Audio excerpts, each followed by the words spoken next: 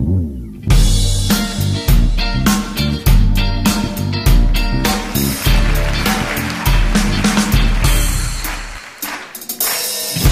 contre l'invitesse, on devient qu'un cielo de